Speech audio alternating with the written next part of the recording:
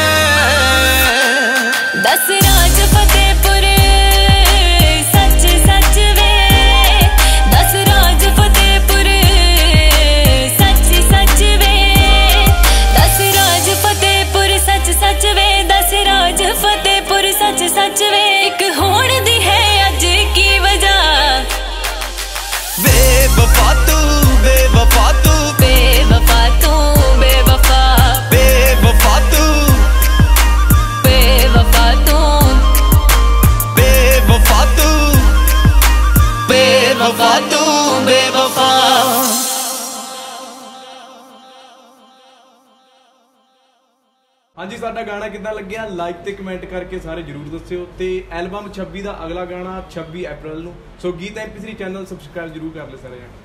thank you thank you